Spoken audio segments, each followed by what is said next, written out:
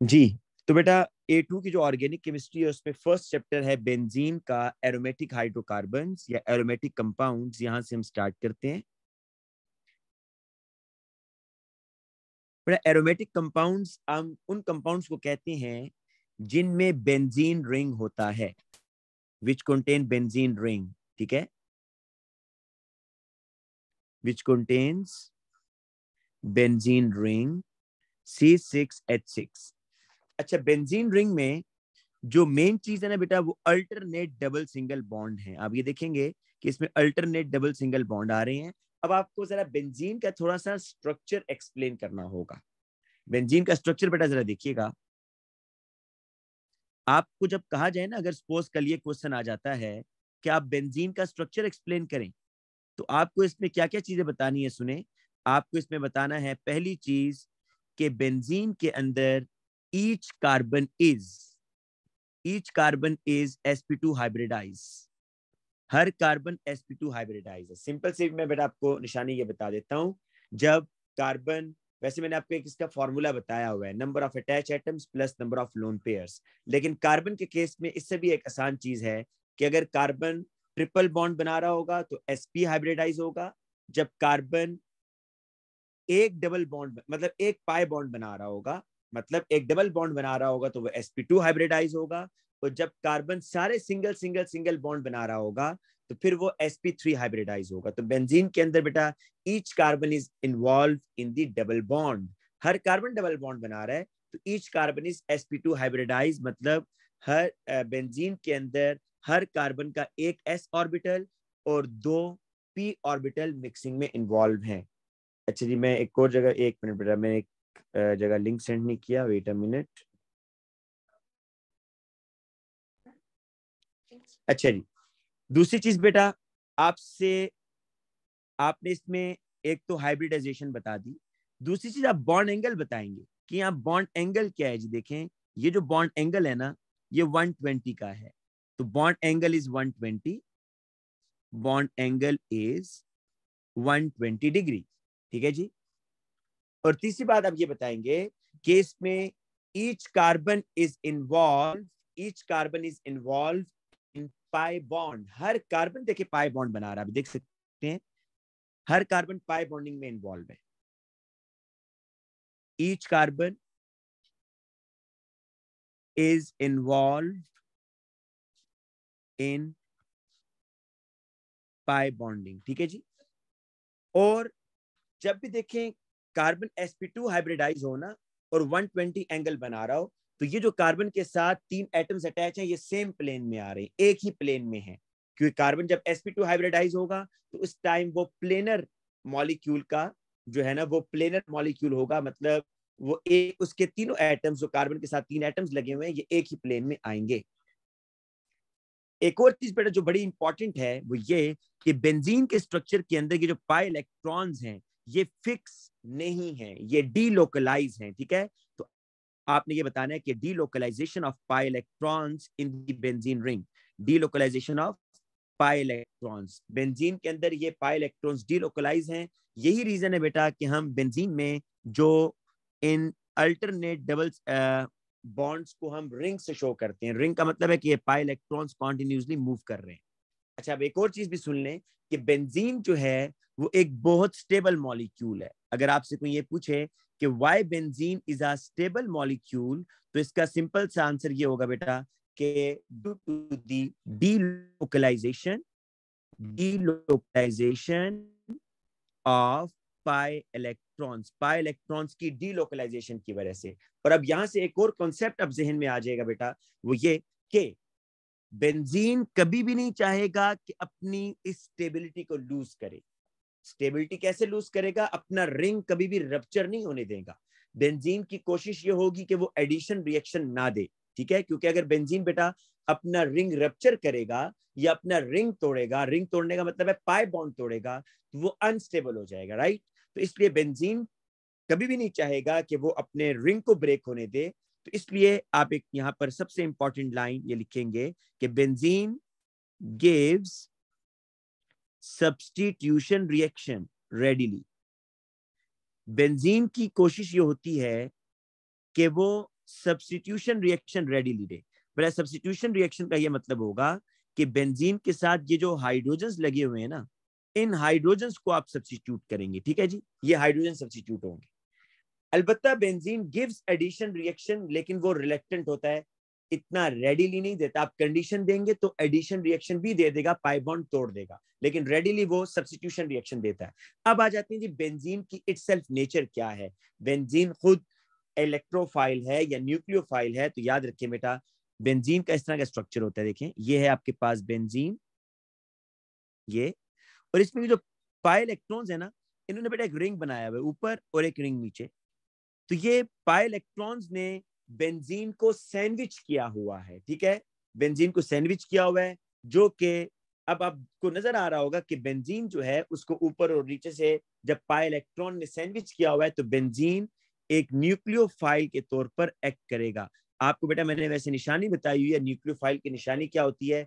उसके ऊपर lone pair होता है या उसके ऊपर नेगेटिव चार्ज होगा। या सेम एटम्स के दरमियान डबल या ट्रिपल बॉन्ड होगा। तो आप देख सकते हैं बेंजीन इज़ अ न्यूक्लियोफाइल क्योंकि इसमें दो सेम एटम्स के दरमियान डबल बॉन्ड आ रहा है।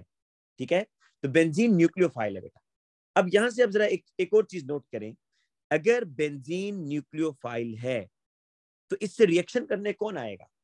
न्यूक्लियोफाइल तो न्यूक्लियोफाइल से रिएक्शन नहीं करता ना। तो इससे रिएक्शन करने आएगा इलेक्ट्रोफाइल ई e का मतलब इलेक्ट्रोफाइल तो बेंजीन के साथ कौन रिएक्शन करेगा जी? इलेक्ट्रोफाइल रिएक्शन करेगा।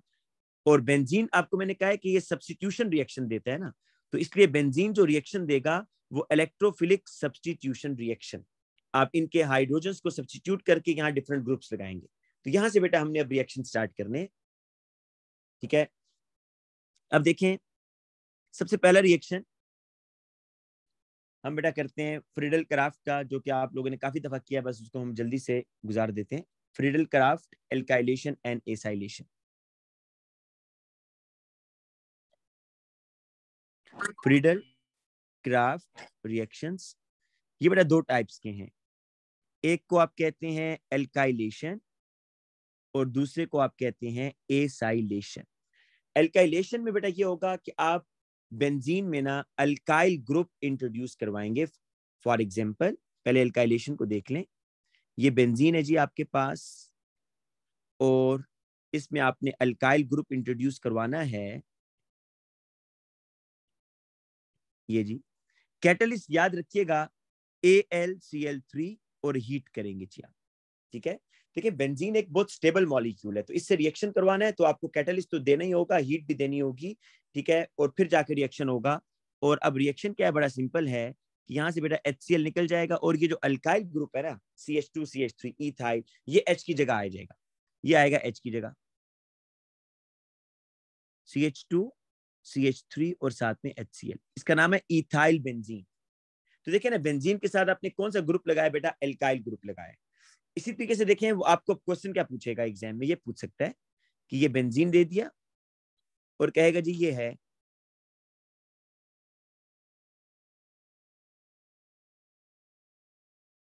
ये जी। ये आपको दिया है, उसने बेंजीन से ना, ये कंपाउंड बेटा बन रहा है बेंजीन से। In the presence of three और हीट आपसे क्वेश्चन ये पूछेगा जी कि आप इसके रिएजेंट का नाम बताएँ। कहेगा जी रिएजेंट क्या है? मतलब बेंजीन ने किससे रिएक्शन किया? तो आप जरा सोचें, क्या रिएजेंट होगा?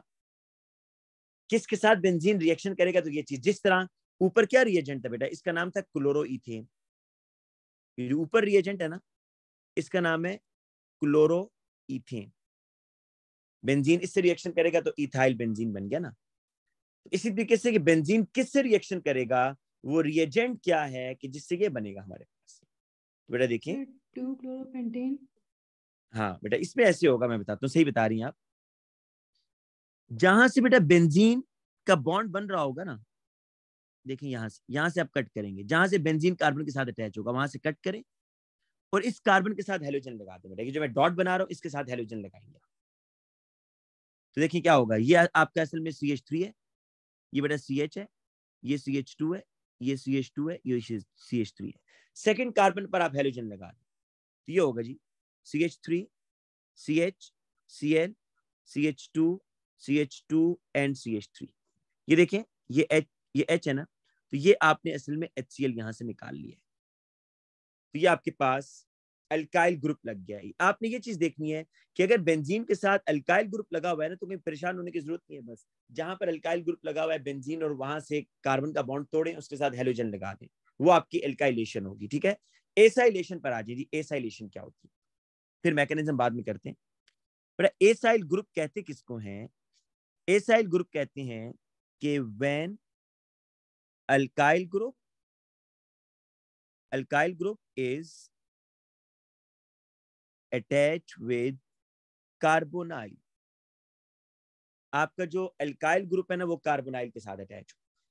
अल्काइल कोई भी हो सकता है इथाइल मीथाइल प्रोपाइल आपकी मर्ज़ी है। मतलब ये होना चाहिए C H three C double bond O या बेटा C H three C H two C double bond O इसको आप एसाइल ग्रुप बोलते हैं। दिस इज़ द एसाइल ठीक है? अब रिएक्शन कैसे होगा, देखें।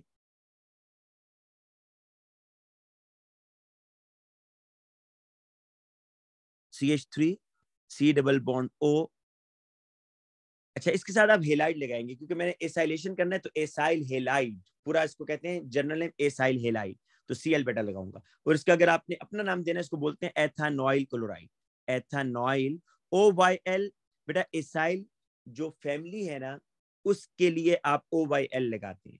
ओ वाई एल आप एसाइल फैमिली को रिप्रेजेंट करने के लिए तो एथानॉइल क्लोराइड रिएक्शन कैसे होगा जी? वही A L C L three और आपने हीट करना है और यहाँ से बेटा आप एच को निकाल लेंगे और बेंजीन के साथ direct C double bond O C H three होगा।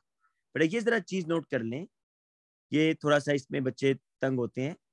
वो ये कि जब बेंजीन के साथ directly C double bond O लगा होगा ना, जब बेंजीन के साथ directly C double bond O लगा होगा, तब आपने उसको क्या कहना है? एसाइलेशन क्या बोलना है आपने इसको एसाइलेशन अब यह बेटा आपसे ऐसे पूछ सकता है। बेटा आप लोगों को मैंने अनम्यूट इसीलिए किया कि आप लोग डायरेक्ट मुझसे क्वेश्चन पूछे। मैं आपके अभी मैसेज पढ़ूँगा तो स्पीड मेरी स्लो हो जाएगी। आप लोग डायरेक्ट मुझसे क्वेश्चन पूछ लें। अगर इस तरह होगा जी देखें।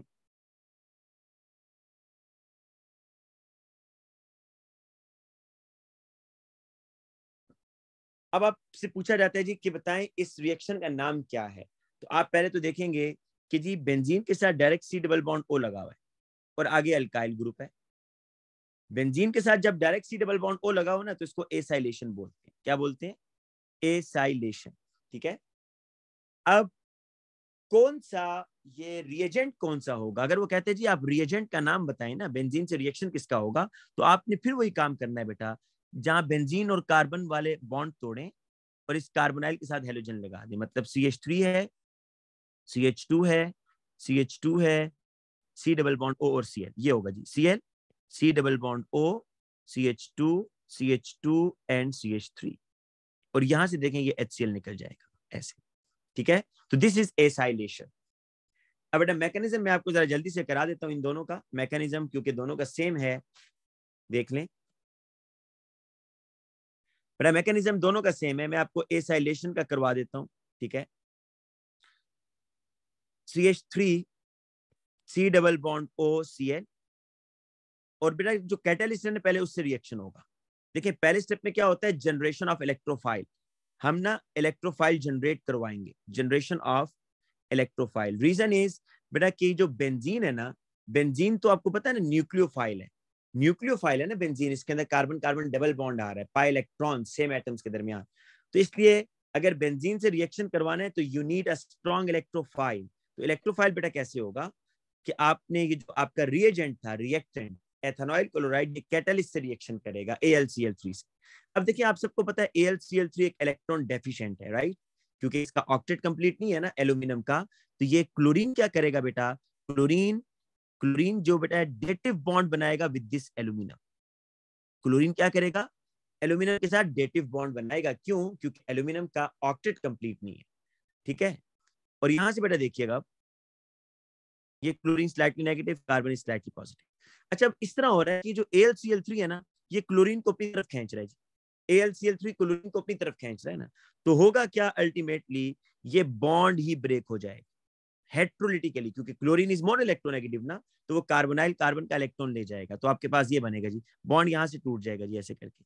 तो C H three C double bond O positive और आपके पास ये बनेगा A L C L three देखें A L C L three था, लेकिन एक सी एल नेगेटिव इसमें ऐड हो गया। तो मैं इसको लिखूँगा A L C L four minus ये बेटा आपका इलेक्ट्रोफाइल बना है, जिसमें कार्बोनाइल कार्बन पर प्लस चार्ज है। अब आपने मैकेनिज्म करना है। ये देखें, ये आपके पास पाई इलेक्ट्रॉन्स थे, और ये आपके पास बेटा इलेक्ट्रोफाइल आ गया है। दिस इज़ द इलेक्ट्रोफाइल तो ये पाई इलेक्ट्रॉन इस इलेक्ट्रोफाइल के ऊपर अटैक करेगा, इसे करके। ठीक है? जब ये पाई इलेक्ट्रॉन अटैक करेगा बेटा तो रिंग रप्चर होगा ना, क्योंकि देखें, ये पाई इलेक्ट्रॉन बॉन्ड बनाना चाह रहे हैं। तो असल में कितने पाई इलेक्ट्रॉन है अंदर? थ्री तो वन थर्ड मतलब थ्री पाई इलेक्ट्रॉन है। थ्री पाई इलेक्ट्रॉन है। और एक पाई इलेक्ट्रॉन अटैक करना चाह रहा है इलेक्ट्रोफाइल पर तो आप वन थर्ड रिंग का वन थर्ड रप्चर कर देंगे, क्योंकि एक पाई बॉन्ड जो है, वो अब सिग्मा बॉन्ड में जा रहा है सिग्मा बॉन्ड में। ये देखिएगा बड़े ध्यान से भी।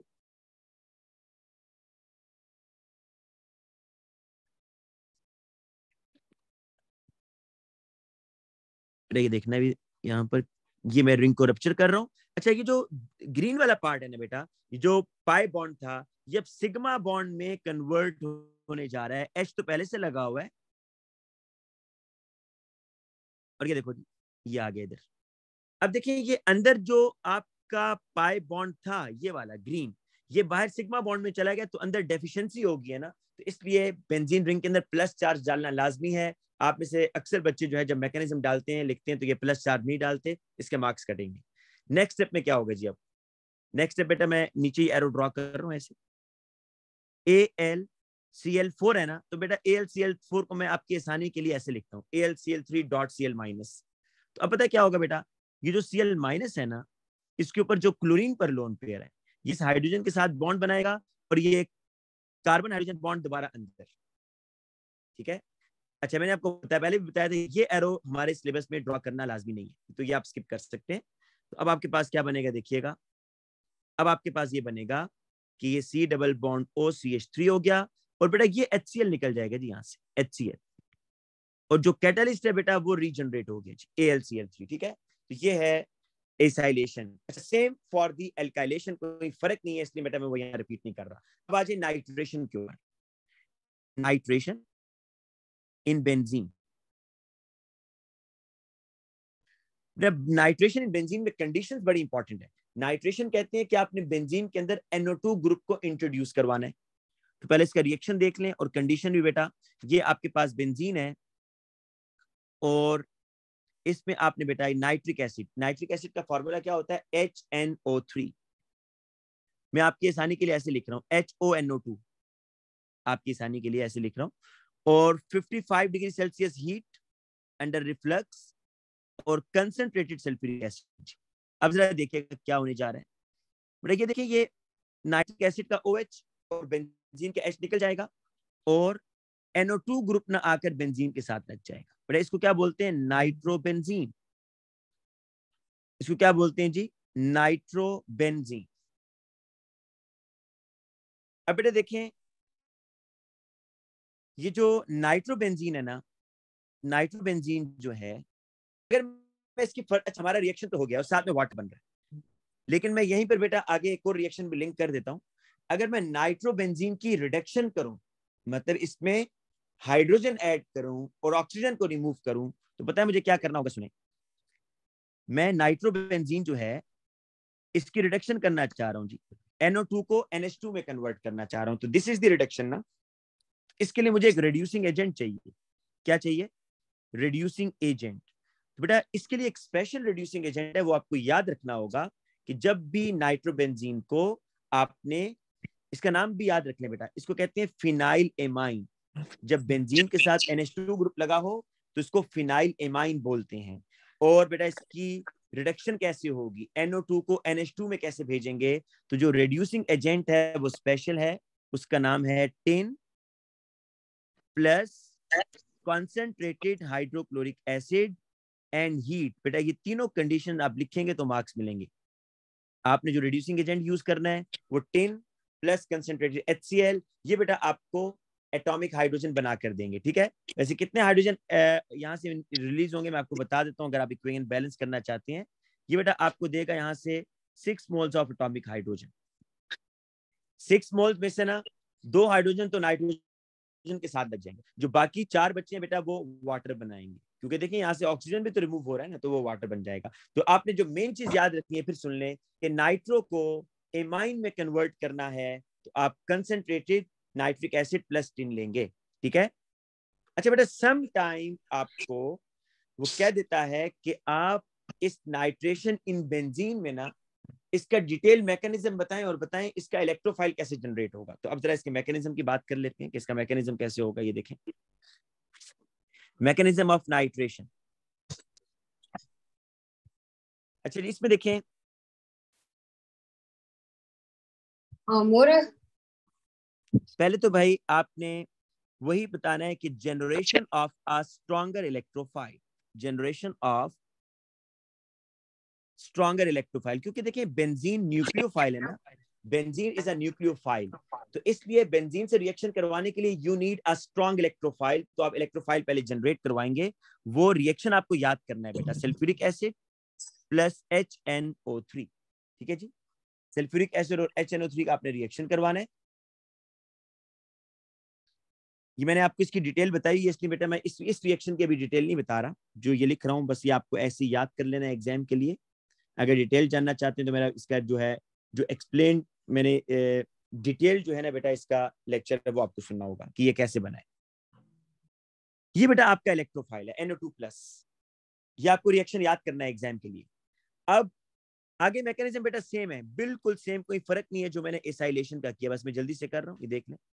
ये जी बेंजीन के जो पाई इलेक्ट्रॉन्स हैं वो इलेक्ट्रोफाइल पर अटैक करेंगे। ठीक है? होगी सब्सिट्यूशन ये आप जेन में रखिएगा। एट द एंड आप देखेंगे कि बेंजीन का रिंग दोबारा रिस्टोर हो गया। लेकिन यहाँ होता क्या है बेटा? हो, होगा ये कि ये जो आपको बेंजीन का रिंग नज़र आ रहा है इसमें वन थर्ड मतलब एक पाई बॉन्ड अटैक करेगा। किस पर? इस NO2 पर। क्योंकि NO2 is electrophile ring rupture होगा। और ये बेटा NO2 आ गया ये देखिए, ये जो अंदर पाई बॉन्ड था ना, ये बाहर किसमें चला गया जी? सिग्मा बॉन्ड में। ये हमेशा ऐसे होगा बेंजीन के मैकेनिज्म में कि पहले स्टेप में जो अंदर पाई बॉन्ड है, वो सिग्मा बॉन्ड में जाएगा। मतलब पाई बॉन्ड आपका सिग्मा बॉन्ड में जा रहा है और अंदर प्लस का साइन डालना नहीं भूलना। और नेक्स्ट स्टेप में क्या होता था बेटा कि जो आपके फ़र्स्ट स्टेप में जो नेगेटिव चीज़ बनी होगी ना, जिस तरह यहाँ पर क्या है?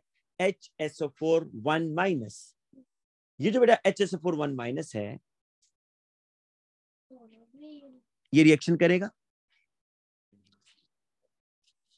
ये हाइड्रोजन पर और हाइड्रोजन अपने, अपना इलेक्ट्रॉन जो है ना अंदर दे देगा। बिल्कुल बेटा सेम मैकेनिज्म है जो आपने भी उसके लिए किया है ना। ये H2SO4 देखें, ये कैटलिस्ट रीजनरेटेड H2SO4 जो कैटलिस्ट था वो आपका रीजनरेट हो गया, ठीक है? अब बेटा आ जाए आगे। अच्छा मैं आपको जल्दी से एक और भी बता दूँ कि बेंजीन में इसी तरह क्लोरीनेशन भी होती है जी। बेंजीन के अंदर अगर आप क्लोरीनेशन करवाना चाहते हैं in the presence of AlCl3 catalyst या आप बेटा FeCl3 भी ले सकते हैं ठीक है? FeCl3 कैटलिस्ट भी ले सकते हैं AlCl3 भी ले सकते हैं लेकिन ये एनहाइड्रस होना चाहिए एनहाइड्रस वाटर इसमें नहीं होना चाहिए। सर जी तो क्या होगा? रिएक्शन किया है ये हमने पेपर्स के लिए याद रखना है या नहीं याद रखना? बेटा याद रखना है बिल्कुल याद रखना है भाई। क्यों आपने पहले नहीं किया बेटा ये रिएक्शन मुझे बताओ पहले। सर जी किया तो था पर मैंने कहा कंफर्म कर लूँ बाकी तो नहीं बेटा याद रखते हैं याद रखते हैं। ये बेटा क्लोरोबेंजीन देखें इसी तरह अगर आप बेंजीन के अंदर ब्रोमीन ऐड करेंगे तो ब्रोमोबेंजीन बनेगा। सर एक मिनट ये पिछला रिएक्शन दिखा देंगे। ये बेटा।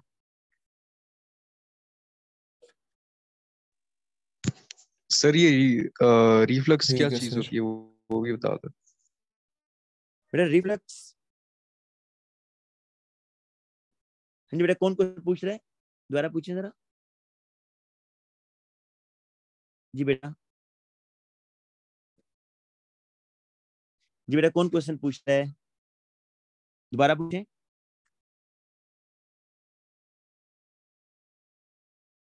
बेटा रिफ्लेक्स ये होता है कि आप अपने मिक्सर को हीट करते हैं। इस तरह का एक सिस्टम होता है, देखें।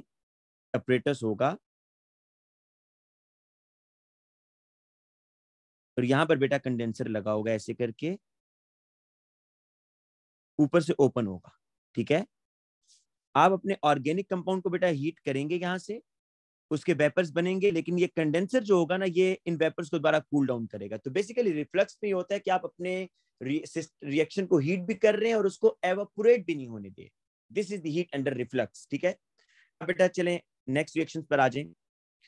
अच्छा बेंजीन एडिशन रिएक्शन भी देगा। अगर इस तरह दिया हुआ ना जी आपके पास ये अल्टरनेट डबल सिंगल बॉन्ड और वो कहते हैं जी hydrogen in the presence of nickel catalyst और हीट तो आप क्या करेंगे? इसके बॉन्ड खत्म कर देंगे भाई। ये देखें बस बॉन्ड खत्म हो गए हैं और हाइड्रोजन बेटा हाइड्रोजन हर कार्बन पर ऐड हो जाएगा जाकर। हर कार्बन पर एक एक हाइड्रोजन ऐड हो जाएगा। तो इसका मॉलिकुलर फॉर्मूला क्या बनेगा? C6H12 साइक्लोहेक्सेन ठीक है? एडिशन रिएक्शन भी देता है लेकिन थोड़ा सा रिलेक्टेंट होता है। अब बेटा हम आगे चलते हैं नेक्स्ट टॉपिक ये है Sir? कि अगर बेंजीन के जी बेटा।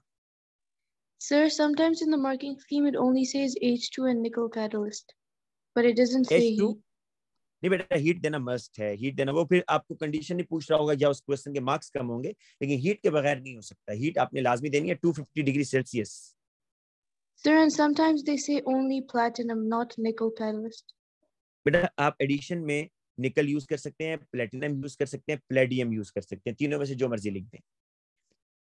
Okay, sir. अच्छा बेटा अच्छा बेटा अब हम ये करते हैं कि बेंजीन के साथ अगर पहले से एक ग्रुप लगा हुआ है तो सेकंड ग्रुप किधर आएगा? देखें मैं इस टॉपिक को नाम देता हूँ। अब ये टॉपिक हम करने जा रहे हैं कि electrophilic substitution electrophilic substitution in mono substituted benzene मतलब बेटा इसका ये है कि बेंजीन के साथ एक ग्रुप लगा हुआ है पहले से फॉर एग्जांपल ये है जी बेंजीन इसके साथ ये हम कह देते हैं एक्स लगा हुआ है। ये एक्स और आप एक और इलेक्ट्रोफाइल को इंट्रोड्यूस करवाना चाह रहे हैं इनटू द बेंजीन रिंग तो ये ई e इलेक्ट्रोफाइल किधर आएगा? अब आपको कुछ पोजीशन याद रखनी है। बेटा ये जो एक्स जिस कार्बन पर है, ये कार्बन नंबर वन है। ये कार्बन टू है, ये थ्री ये फोर ये फाइव ये सिक्स याद रखें बेटा, ये पोजिशन कार्बन नंबर टू और सिक्स को आप बोलते हैं ऑर्थो कार्बन नंबर टू और सिक्स को आप क्या बोलते हैं? Ortho position carbon number three और फाइव को बेटा आप बोलते हैं मेटा पोजिशन और कार्बन नंबर वन और फोर को आप बेटा बोलते हैं पैरा पोजिशन तो आपको ये तीन पोजिशन याद रखनी है ऑर्थो मेटा और पैरा ठीक है? अब मैं यहाँ पर बेटा एक स्टेटमेंट लिख रहा हूँ कि if electron donating group is present अगर बेटा बेंजीन के साथ इलेक्ट्रॉन डोनेटिंग ग्रुप होगा देन इनकमिंग इलेक्ट्रोफाइल जो होगा, जो बेटा इलेक्ट्रोफाइल आ रहा है, वो कहाँ पर आएगा? Will attack at two four और सिक्स ऑर्थो और पैरा ये बात बड़ी इंपॉर्टेंट है। कि मैंने लिखा है कि अगर बेंजीन के साथ इलेक्ट्रॉन डोनेटिंग ग्रुप लगा हुआ है ना, अभी आपको बताऊँगा इलेक्ट्रॉन डोनेटिंग की क्या निशानी है, लेकिन अगर इलेक्ट्रॉन डोनेटिंग ग्रुप है तो जो इलेक्ट्रोफाइल होगा उसको आप या टू पर लेके जाएँगे या फोर पर या सिक्स पर। इसकी फर्दर डिटेल मैं नहीं बता रहा, ऐसा क्यों है? लेकिन अगर इलेक्ट्रॉन डोनेटिंग ग्रुप होगा तो टू फोर सिक्स एक्टिवेट हो जाएँगे, ठीक है? अब इलेक्ट्रॉन डोनेटिंग ग्रुप कौन से होते हैं, वो मैं यहाँ पर एक लाइन में लिख देता हूँ। Single bonded groups single bonded groups are electron donating group. मतलब ऐसे ग्रुप जिसमें सिंगल बॉन्ड आ रहा है। फॉर एग्ज़ाम्पल देखें, अगर बेंजीन के साथ, अगर बेंजीन के साथ मैं ओएच लगा देता हूँ तो बेटा ये ओएच में सारे सिंगल बॉन्ड है ना। तो ये जो सिंगल बॉन्डेड ग्रुप होगा, ये अपने इलेक्ट्रॉन बेंजीन रिंग को देगा ये इलेक्ट्रॉन डोनेटिंग है। ये एरो डाउनवर्ड आ रहा है मतलब दिस इज़ इलेक्ट्रॉन डोनेटिंग अपने इलेक्ट्रॉन बेंजीन को दे रहा है। इसी तरीके से, अगर बेटा बेंजीन के साथ सी एच थ्री ग्रुप लगा हुआ है सी एच थ्री तो आप देख सकते हैं सी एच थ्री के अंदर कोई डबल बॉन्ड तो नहीं आ रहा ना? ये जो सी एच थ्री ग्रुप है बेटा सिंगल बॉन्डेड है तो ये भी अपने इलेक्ट्रॉन सारे किसको दे रहा है? बेंजीन रिंग को दे रहा है। दिस इज़ इलेक्ट्रॉन डोनेटिंग तो अगर इलेक्ट्रॉन डोनेटिंग ग्रुप है तो आपका जो इलेक्ट्रोफाइल है वो टू पर आएगा, या फोर पर आएगा, या सिक्स पर आएगा। इसी तरीके से बेटा, अगर आपके पास इस तरह है कि यहाँ क्लोरीन लगा हुआ है सपोज़ ठीक है?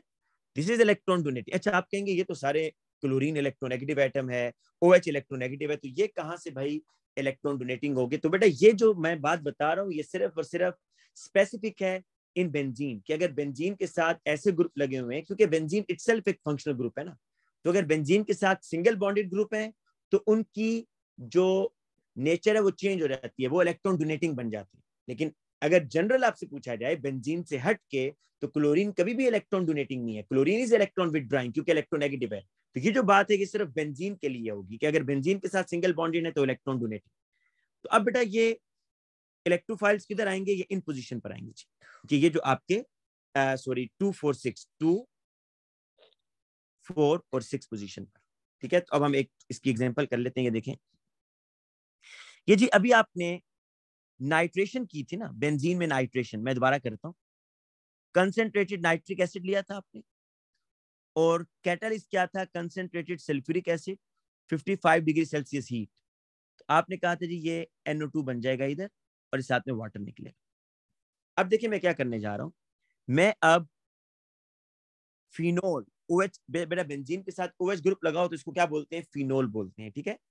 फिनोल के अंदर अगर मैंने नाइट्रेशन करनी है ना फिनोल के अंदर नाइट्रेशन अब ऊपर हेडिंग दे देंगे नाइट्रेशन इन फिनोल तो अगर फिनोल में नाइट्रेशन करनी है तो मैं डाइल्यूट नाइट्रिक एसिड ले रहा हूँ। नो no कैटलिस्ट मुझे कोई कैटलिस्ट नहीं चाहिए।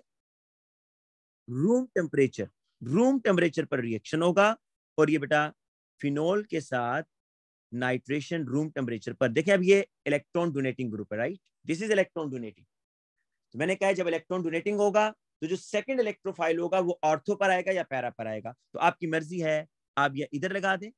या इधर लगा दें, आपकी मर्ज़ी है, मैं इधर लगा देता हूँ, यानी जी एनओ टू आप इसको एनओ टू यहाँ नहीं लगाना चाहते, यहाँ लगा दें जी। यहाँ लगा दें एनओ टू और साथ में वाटर निकाल दें। फ़र्क जरा देखिएगा बेटा। फ़र्क देखें, फ़र्क ये है कि ऊपर वाला रिएक्शन कंसेंट्रेटेड और हीट क्यों? क्योंकि benzene is a very stable molecule benzene बहुत स्टेबल है। नीचे देखें नाइट्रेशन नहीं हो रही है room temperature no catalyst reason कि ये जो फिनोल है ना बेटा this is electron donating electron donating होने की वजह से ये क्या कर रहा है? बेंजीन के ऑर्थो और पैरा पोजीशन मतलब टू फोर और सिक्स जो कार्बन नंबर्स हैं, इनको एक्टिवेट कर रहा है। इनके ऊपर ना नेगेटिव चार्ज बेटा बढ़ जाता है। कैसे बढ़ता है वो मैंने बेटा दूसरे लेक्चर में बताया, वो आप सुन सकते हैं डिटेल में। लेकिन ये याद रखें कि इलेक्ट्रॉन डोनेटिंग ग्रुप्स इन पोजीशंस को एक्टिवेट कर देते हैं। टू फोर और सिक्स को। तो इसलिए जो इलेक्ट्रोफाइल है, वो इन पोजीशन पर रेडीली जाएगा और जाकर अटैच हो जाएगा। कोई कैटलिस्ट आपको कोई हीट देने की ज़रूरत नहीं होती, ठीक है जी? अब आ जाते हैं जी आगे। अगर इलेक्ट्रॉन विद ड्राइंग ग्रुप लगा हो फॉर एग्ज़ाम्पल आपके पास लगा होगा NO2 NO2 बेटा NO2 के अंदर डबल बॉन्ड आता है, देखें जरा। ये अब सेकंड केस है बेटा। NO2 में डबल बॉन्ड आ रहा है ना? तो अगर बेंजीन के साथ ऐसा ग्रुप लगा हुआ है जिसमें डबल बॉन्ड आता है तो इसको आप कहते हैं इलेक्ट्रॉन विद ड्राइंग ग्रुप इसका एरो देखिए ऊपर की तरफ़ जा रहा है, ये देखिए, मैंने ऊपर ड्रॉ किया ठीक है बेंजीन से इलेक्ट्रॉन खींच रहा है। तो इलेक्ट्रॉन विद ड्राइंग ग्रुप ऊपर लिख लें electron withdrawing group favours the meta position ये बेटा किस पोजीशन को फेवर करेगा? मेटा पोजीशन मतलब थ्री और फाइव कुछ। अब अब जरा देखिएगा कि एनओ टू में क्या होगा। ये NO2 लगा हुआ है। अगर आपने बेटा इसमें एल्काइलेशन करनी है ना इन दी प्रेजेंस ऑफ़ AlCl3 और हीट तो आप देखेंगे कि ये जो आपका अल्काइल ग्रुप है, ये इधर आएगा जी। या इधर, या इस पोजीशन पर लगाते या इस पोजीशन पर लगाते ठीक है? Two methyl nitrobenzene sorry three three methyl nitrobenzene ये बनेगा जी। तो दो चीज़ें मैंने आपको बता दी इलेक्ट्रॉन डोनेटिंग ग्रुप फेवर करेगा ऑर्थो और पैरा को। और electron withdrawing group favour करेगा मेटा पोजीशन को। सम टाइम क्या होता है, सुने। सम टाइम बेटा ऐसे हो जाता है कि आपके पास इलेक्ट्रॉन डोनेटिंग भी लगा होता है इलेक्ट्रॉन विड्राइंग भी लगा होता है। ऐसे है जी। दोनों ग्रुप लगे हुए हैं सपोज़ इलेक्ट्रॉन डोनेटिंग भी इलेक्ट्रॉन विड्राइंग भी। और इसमें आपने अब एल्काइलेशन करनी है। अब क्या करेंगे जी? अब जब बेटा इस तरह की सिचुएशन आ जाए ना कि इलेक्ट्रॉन डोनेटिंग भी हो विद विड्राइंग भी हो अब देखें ना ओएच इलेक्ट्रॉन डोनेटिंग है। तो आपने इलेक्ट्रॉन डोनेटिंग ग्रुप जो होगा, उसकी बेस पर डिसीज़न करना है इलेक्ट्रॉन विड्राइंग एनओ को नहीं देखना। तो आप अब जो यहाँ बेटा सी एच थ्री को इंट्रोड्यूस करवाएँगे बेंजीन रिंग में, वो आप ओ OH की बेस पर करेंगे। इलेक्ट्रॉन डोनेटिंग ग्रुप का डोमिनेंट इफ़ेक्ट होता है। तो इसलिए अब आप NO2 को इग्नोर करेंगे इलेक्ट्रॉन डोनेटिंग ग्रुप को देखेंगे, और आप देखेंगे यहाँ पर क्या हो रहा है जी? ये ओ OH ये आपके पास NO2 तो ऐसे ही आएगा।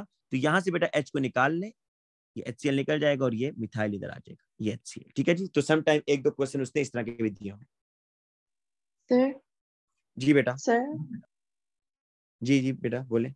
Sir, if you have like um, electron withdrawing group, then the benzene ring is less stable.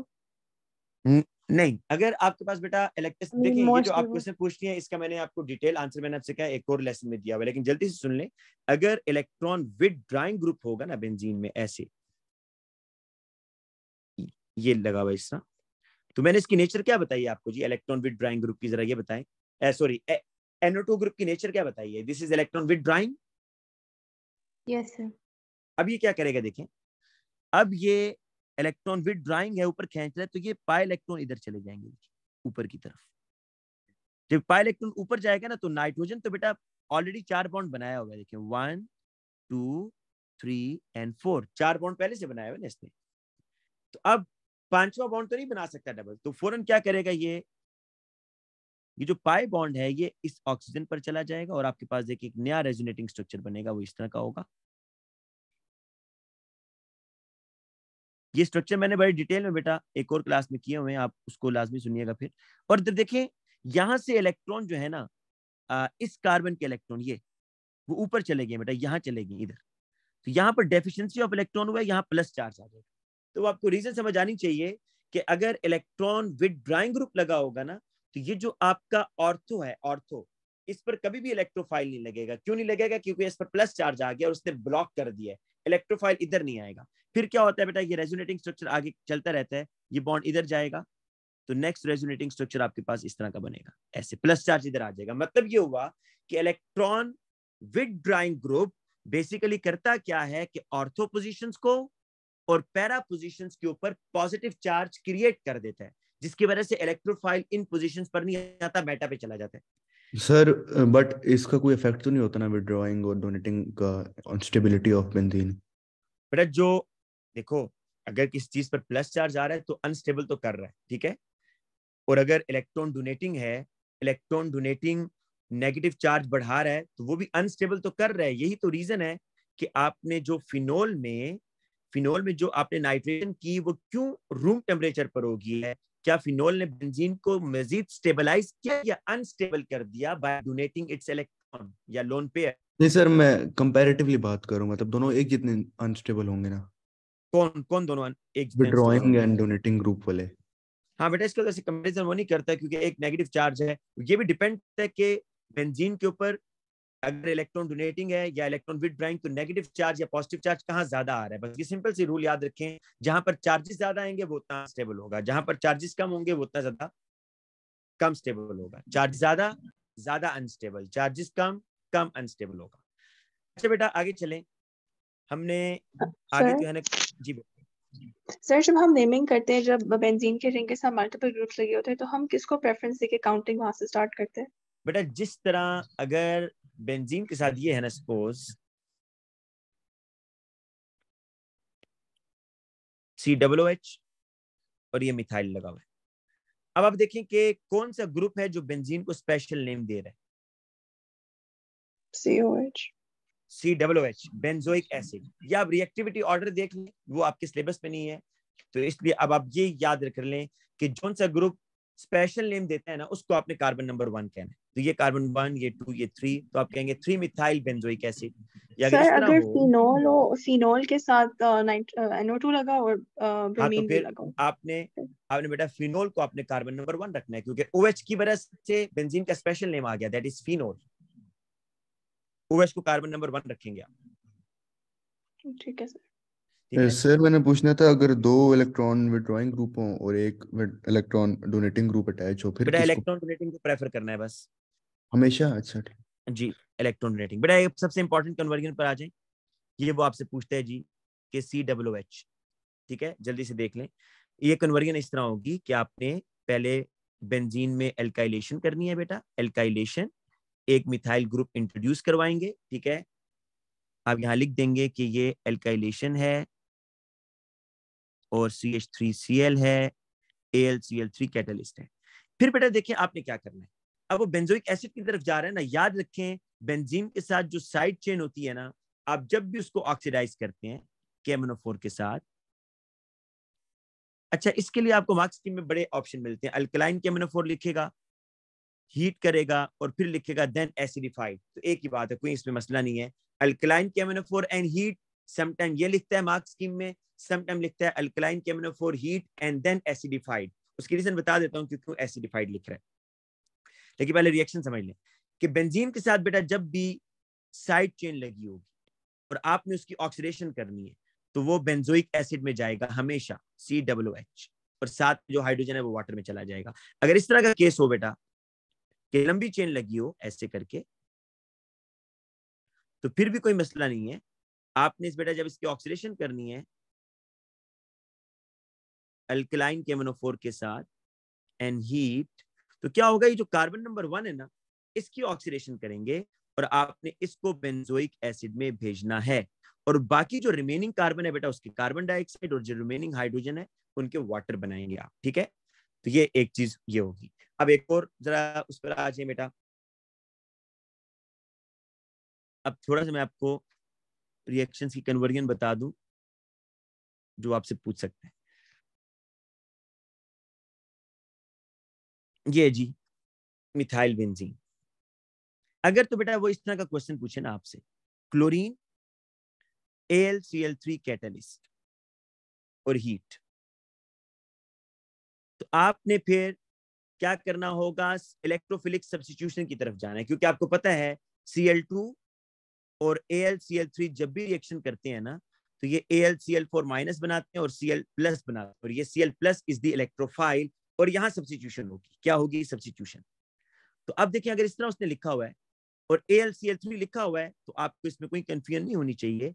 आप इसको ऐसे कर देंगे सी एच थ्री और ये क्लोरो मिथाइल बेंजीन और साथ में एच सी एल लेकिन अगर उसने ऐसे लिखा है, देखिए chlorine UV light chlorine UV light अब बेटा याद रखें, जब यूवी लाइट आएगा ना तो ये आपको बड़ा इंपॉर्टेंट रिएक्शन याद करवा रहा है फ्री रेडिकल सब्सिट्यूशन रिएक्शन फिर आपने बेंजीन के हाइड्रोजन को नहीं छेड़ना, फिर आपने जो अल्काइल चेन है, जो बेंजीन के साथ अल्काइल चेन है, उनके हाइड्रोजन को, के साथ रिएक्शन करना है। तो अब रिएक्शन ये होने जा रहा है कि जो बेंजीन के साथ सी लगा हुआ था, वो अब C H two C L हो जाएगा और एच सी एल बनेगा साथ। ठीक है? तो यूवी लाइट जो है बेटा, वो अल्काइल जो चेन है साइड चेन है उसके हाइड्रोजन के साथ रिएक्शन करेगी। लेकिन अगर क्लोरीन विद थ्री है तो फिर वो किसके साथ रिएक्शन करेगा? वो बेंजीन के हाइड्रोजन के साथ रिएक्शन करेगा। तो ये डिफरेंस याद रखिएगा ठीक है? और तीसरा अगर वो आपसे कहेगा जी आपने इसकी ऑक्सीडेशन करनी है तो वो मैंने भी आपको करवाया। आपने क्या सर? करना है? सिंपल जी सर मैं दो क्वेश्चन किए हैं। दोनों में खाली सी एल टू लिखा हुआ था या बी एल टू लिखा हुआ था ना यूवी लेड लिखा हुआ था ना A L C L three एक में उसने कार्बन चेन के अंदर उसकी एडिशन करा दी और यूवी लाइट आप मुझे सेंड करोगे ना इस तरह नहीं मुझे आप सेंड करोगे पिक्चर अब अभी सेंड कर दो बेशक अभी सेंड कर दो व्हाट्सएप पर मैं देख रहा हूँ ठीक है? ठीक है बेटा मुझे अभी सेंड कर दो इस तरह जुबानी सही क्लियर नहीं होगा। अच्छा जी। ओके सर अब आगे आ जाए नेक्स्ट बेटा ये चेयर थोड़ा सा लेंथी है बस ये एक दफ़ा खत्म हो जाए आगे हम थोड़ा तेज करेंगे काम। अब बेटा आ जाए फिनोल के ऊपर जो फिनोल के रिएक्शन है। फिनोल के बारे में याद रखें कि phenol is slightly acidic in nature बेटा फिनोल जो है ना, वो स्लाइटली एसिडिक है। क्यों? ये देखें।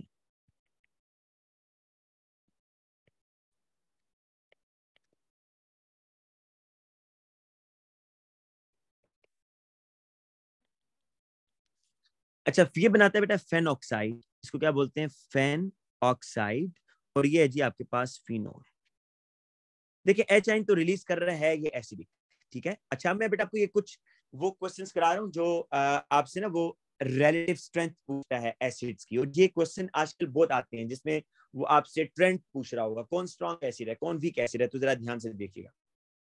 पर इसमें आप ये बताना है कि जो फेनोक्साइड है ना, इसमें जो ऑक्सीजन का लोन पेयर अब देखिए, आपने जब स्ट्रेंथ ऑफ़ एसिड बताना होता है तो आपने ये बताना होता है कि ये कित रेडिली बैकवर्ड जा रहा है। जो रिएक्शन रेडिली बैकवर्ड जाएगा, इसका मतलब वो वीक एसिड है। जो रिएक्शन रेडिली फॉरवर्ड जा रहा है, इसका मतलब वो स्ट्रॉन्ग एसिड अब देखिए फेनोक्साइड के अंदर बेटा, ये जो लोन पेयर है, आपको नज़र आ रहा है, ये लोन पेयर डीलोकलाइज है। ये इस तरह मूव करेगा इनसाइड द रिंग आपको पता है, ये जब रिंग के अंदर मूव करेगा ना, ये देखिएगा। इस तरह का स्ट्रक्चर आपको स्ट्रक्चर नहीं बनाने एग्ज़ाम में, ठीक है ना? ये देखिए, ये लोन पेयर जब इधर जाएगा ना बेटा, इधर।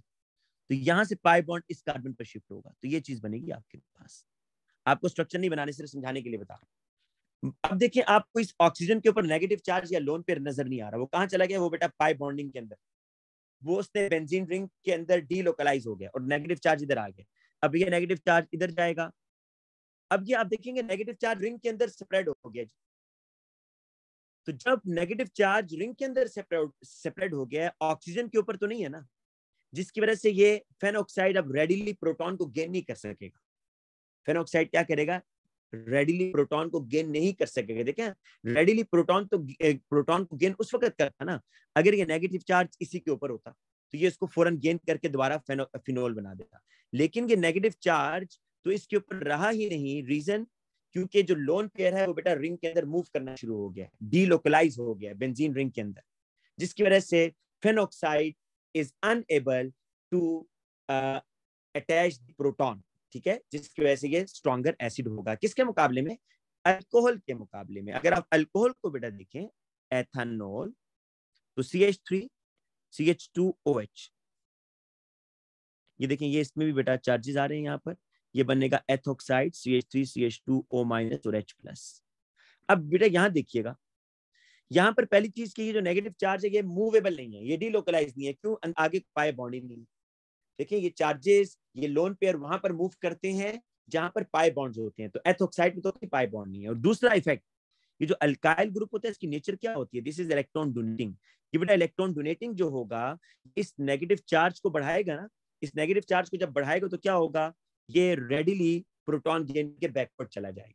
जबकि ऊपर इसके ऑपोजिट हो रहा था काम, ऊपर चेक करें ऑक्सीजन के ऊपर तो नेगेटिव चार्ज है ही नहीं, आप अभी चेक कर सकते हैं। नो नेगेटिव चार्ज कहाँ चला गया? बेंजीन रिंग के अंदर। तो यहाँ उल्टा इफ़ेक्ट हो रहा था।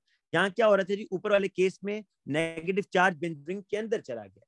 जबकि नीचे एथोक्साइड में क्या हो रहा है कि जो अल्काइल ग्रुप है, वो आपके इलेक्ट्रॉन डोनेटिंग होने की वजह से नेगेटिव चार्ज बढ़ा रहा है, जिसकी वजह से बेटा ये जो एथोक्साइड है it will gain the proton readily ठीक है? ये रेडिली प्रोटॉन को गेन करेगा। अच्छा जबकि इसके मुकाबले में वाटर जो होगा बेटा, वो इसके दरमियान में आएगा। ये ट्रेंड है। वाटर इसके दरमियान में इसलिए आएगा कि आप देखें वाटर में एच आइन और ओ एच माइनस ना। बेटा वाटर में देखें, ये जो ओ एच माइनस है और ओ एच के ऊपर नेगेटिव चार्ज ना ये बढ़ रहा है, ना ये कम हो रहा है। कुछ भी नहीं हो रहा है ना इसके साथ। फेन ऑक्साइड में क्या हो रहा था कि नेगेटिव चार्ज कम हो रहा था, क्योंकि नेगेटिव चार्ज अंदर रिंग में स्प्रेड हो गया। तो डाइल्यूट हो गया ना, इसलिए प्रोटॉन को गेन नहीं करेगा स्ट्रॉन्गेस्ट एसिड है। तो फिनोल इन तीनों का कंपैरिजन हो तो phenol is the strongest acid ethanol is the weakest acid क्योंकि एथेनॉल के अंदर इलेक्ट्रॉन डोनेटिंग नेगेटिव चार्ज को इंक्रीज कर रहा है, और वाटर बेटा इनके दरमियान में आएगा। ठीक है बेटा, मैं ये देखता हूँ, आपने मुझे सेंड जो किया है।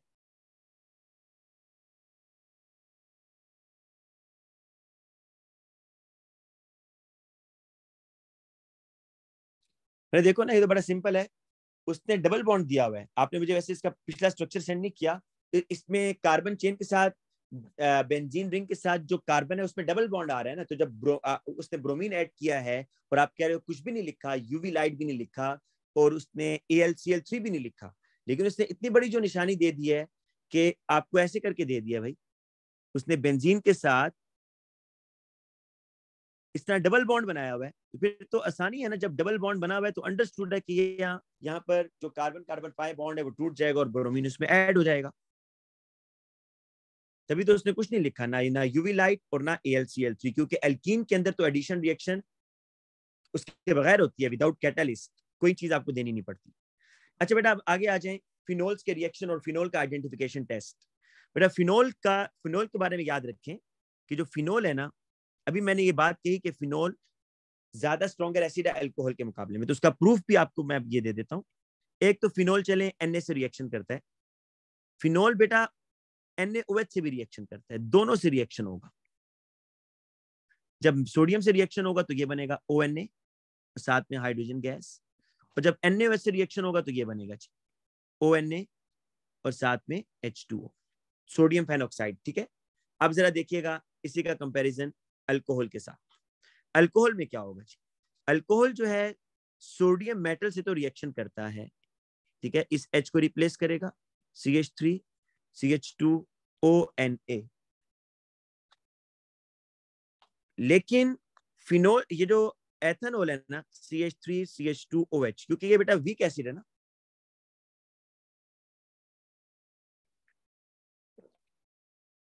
ये बेटा वीक एसिड है अल्कोहल मैंने भी आपको ऊपर बताया वीक एसिड है। तो ये NaOH से रिएक्शन नहीं करता नो रिएक्शन तो ये आपने याद रखना है, ये आगे काफ़ी जगह यूज़ होगा। कि metal hydroxide doesn't react with ethanol और metal react with both phenol के साथ भी और अल्कोहल के साथ भी, ठीक है? और फिनोल का आइडेंटिफिकेशन टेस्ट लास्ट देख लें तो ये चैप्टर खत्म हो जाएगा। फिनोल का बेटा जो आइडेंटिफिकेशन टेस्ट है, वो ये है कि आप फिनोल में अगर ब्रोमीन डालें ना फिनोल में आप ब्रोमीन ऐड करें थ्री मोल्स ऑफ़ ब्रोमीन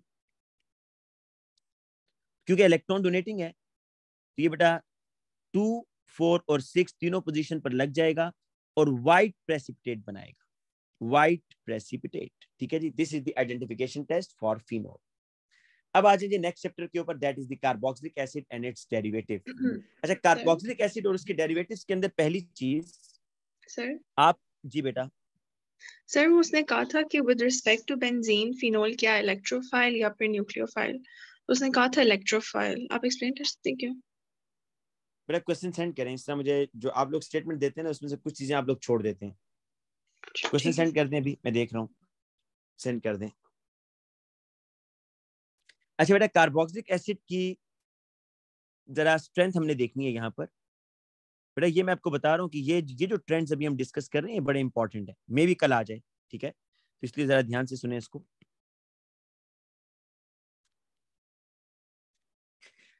जब भी बेटा आपको एसिड की स्ट्रेंथ बतानी है ना, दो चीज़ें बतानी है।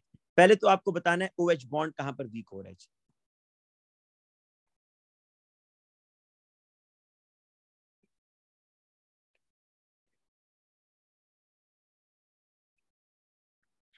अच्छा बेटा ये देखें, ये आपके पास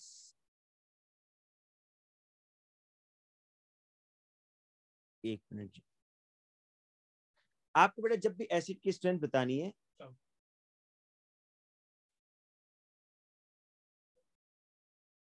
बेटा एक मिनट में सिर्फ़।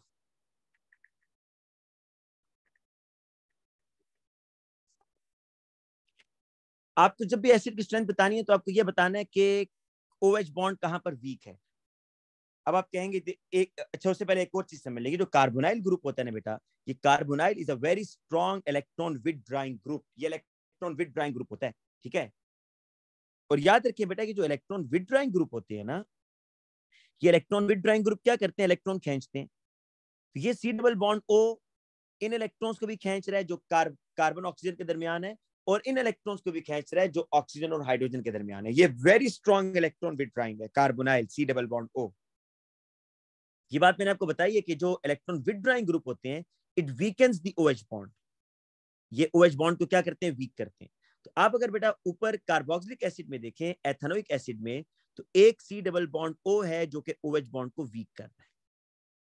लेकिन अगर आप नीचे क्लोरो एथेनोइक एसिड में देखें तो यहाँ पर बेटा एक तो सी डबल बॉन्ड ओ है जो ओ OH को वीक कर रहा है, लेकिन उसके साथ साथ एक क्लोरीन भी तो है जो ओ OH बॉन्ड को फर्दर वीक कर रहा है, क्योंकि क्लोरीन इज़ इलेक्ट्रोनेगेटिव क्लोरीन क्या है? इलेक्ट्रोनेगेटिव है। तो नीचे दो इलेक्ट्रॉन विदड्राइंग ग्रुप हैं, जो कि OH बॉन्ड को वीक कर रहे हैं। तो अब आपको बताना होगा कि OH बॉन्ड कहाँ पर ज़्यादा वीक है तो डेफिनेटली क्लोरो एथोनिक एसिड में OH bond is more weaker तो इसलिए बेटा ये रेडिली क्या करेगा? प्रोटॉन लूज कर देगा ये रेडिली प्रोटॉन लूज करेगा। C double bond O O negative और एच प्लस जबकि ऊपर क्या होगा जी? C H three C double bond O O minus और एच प्लस पहली बात तो आपने ये बता दी, ठीक है? कि weakening of O H bond दूसरी बात बेटा अब यहाँ पर एक्सप्लेन करेंगे, वो ये कि अब ये जो ऑक्सीजन के ऊपर नेगेटिव चार्ज है, दोनों केसेस में, कहाँ पर नेगेटिव चार्ज ज़्यादा है, कहाँ पर कम है? डेफिनेटली जहाँ ज़्यादा होगा, वो प्रोटॉन को रेडिली गेन करके बैकवर्ड जाएगा ना, और वो वीकर एसिड होगा। और जहाँ पर बेटा नेगेटिव चार्ज कम होगा, वो प्रोटॉन को रेडिली गेन नहीं करेगा और वो स्ट्रॉगर एसिड होगा। तो आप ये बताएँगे कि कार्बोनाइल तो दोनों में इसको छोड़ दें। लेकिन जो क्लोरोएथेनोइक एसिड है उसमें क्लोरीन क्या कर रहा है? क्लोरीन इज़ इलेक्ट्रोनेगेटिव ना? तो क्लोरीन क्या करेगा? इस नेगेटिव चार्ज को अपनी तरफ़ अट्रैक्ट करेगा। इस नेगेटिव चार्ज को लेस कंसेंट्रेट करेगा। जब अपनी तरफ़ खींचेगा तो ये नेगेटिव चार्ज कम हो जाएगा ना? और जब ये नेगेटिव चार्ज कम होगा तो वो प्रोटॉन को इतना रेडिली गेन नहीं करेगा। इसलिए क्लोरोएथेनोइक एसिड ज़्यादा स्ट्रॉन्गर एसिड होगा। इस तरह बेटा, अगर डाइक्लोरो होगा तो वो और स्ट्रॉन्गर हो जाएगा। ट्राइक्लोरो होगा तो वो और स्ट्रॉन्गर एसिड होगा। इसके बाद बेटा बड़ा ही इंपॉर्टेंट बात अभी बताने लगा। दो ऐसे कार्बोक्सिलिक एसिड है। दो ऐसे कार्बोक्सिलिक एसिड हैं कि जिनकी ऑक्सीडेशन हो जाती है। उसमें से नाम नोट कर लें। एक कार्बोक्सिलिक एसिड है मैथानोइक एसिड कि अगर आप इनकी ऑक्सीडेशन करेंगे ना तो ये किसमें जाएगा? कार्बन डाइऑक्साइड में और वाटर में। और इसी तरीके से दूसरा बेटा इथेन डायोइक एसिड बेटा ये भी एक ऐसा कार्बोक्सिलिक एसिड है कि आप अगर इसकी ऑक्सीडेशन करें तो ये कार्बन डाइऑक्साइड और वाटर में जाएगा। विदाउट एनी रीजन आप इन दोनों के नाम याद रखेंगे। नीचे वाले को कहते हैं इथेन डायोइक एसिड और ऊपर वाले को बेटा बोलते हैं मैथानोइक एसिड कि ये दो ऐसे कार्बोक्सिलिक एसिड है जिनकी ऑक्सीडेशन हो जाती है, ठीक है? अब आ जाए बेटा आप एसाइल क्लोराइड, के कार्बोक्सिलिक एसिड से एसाइल क्लोराइड कैसे बनाते हैं? जल्दी से बता देता हूँ। एसाइल तो भी हमने पढ़ा ना। एसाइल क्या होता है कि जब अल्काइल ग्रुप और कार्बोनाइल ग्रुप इकट्ठे अटैच हो रहे हैं, उसको एसाइल बोलते हैं। तो कार्बोक्सिलिक एसिड से एसाइल बनता है कैसे है? ये आपके पास बेटा कार्बोक्सिलिक है। कार्बोक्सिलिक लेस रिएक्टिव होता है, ठीक है? एसाइल इज़ मोर रिएक्टिव, याद रखिएगा। Acyl is more reactive. तीन तरीके हैं, पीसीएल थ्री से, पीसीएल फाइव से और एसओसीएल टू से। पीसीएल थ्री में आप हीट करेंगे बाकी में हीट नहीं करेंगे।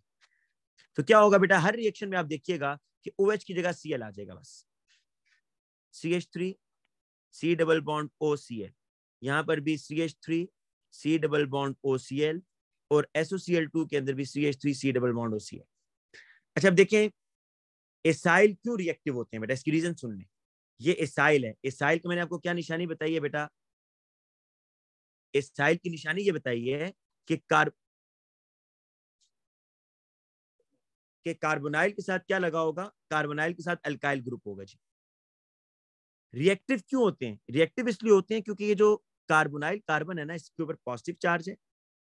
और इसके ऊपर देखें ऑक्सीजन इलेक्ट्रोनेगेटिव राइट साइड पे देखें क्लोरीन इलेक्ट्रोनेगेटिव तो ये बोथ इलेक्ट्रोनेगेटिव एटम ये जो ऑक्सीजन और क्लोरीन है ये कार्बन को क्या बना रहे हैं? कार्बन को बहुत ज़्यादा इलेक्ट्रोफिलिक बना रहे हैं। क्योंकि देखें ऑक्सीजन भी कार्बोनाइल कार्बन के इलेक्ट्रॉन खींच रहा है।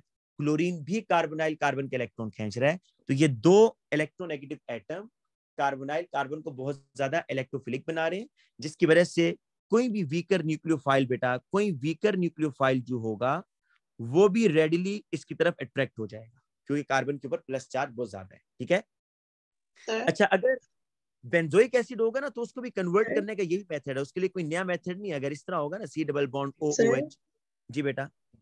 सर जो आपने ऊपर मेथनोइक एसिड वाली बात बताई है वो कोई भी oxidizing agent KMnO4 Tollens Fehling कोई किसी के साथ भी ऑक्सीडेशन कर नहीं नहीं। नहीं नहीं नहीं इसके लिए बेटा आपने जो ऑक्सीडाइजिंग एजेंट यूज़ करना है वो है फेलिंग सॉल्यूशन टॉलरेंस रिएजेंट ये यूज़ कर सकते हैं केमनोफोर यूज़ कर सकते हैं और आप इसके लिए जी बेटा कोई भी यूज़ कर सकते हैं। सारे। ठीक है। ठीक है?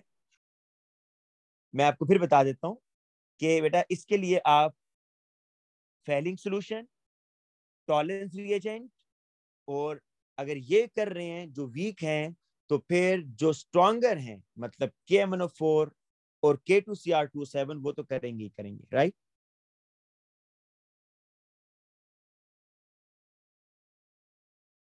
अच्छा बेटा आप आगे आ जाएँगे। देखिए ये जो बेंजोइक एसिड है ना इस बेंजोइक एसिड को बेंजोइल क्लोराइड में कन्वर्ट करने के वही तीन मेथड है PCl5, PCl3 और SOCl2 नेक्स्ट आपको एक चीज़ अंडरस्टैंड करनी है वो मैं बार बार बता रहा हूँ कि जो एसाइल हेलाइड है ये बहुत रिएक्टिव होते हैं जी। Acyl halides are very reactive ठीक है? अब इसके रिएक्टिव होने का प्रूफ ये है कि अगर आप इनका वाटर से रिएक्शन करवाएँ ना ये हाइड्रोलिसिस बेटा हाइड्रोलिसिस का मतलब होता है रिएक्शन विद वाटर मैं हेडिंग दे रहा हूँ यहाँ पर। Hydrolysis of acyl chloride बेटा हम इस तरह करते हैं कि हम सिर्फ़ दस मिनट की एक ब्रेक ले लेते हैं ताकि आप लोग भी थोड़ा सा फ्रेश हो जाएँ।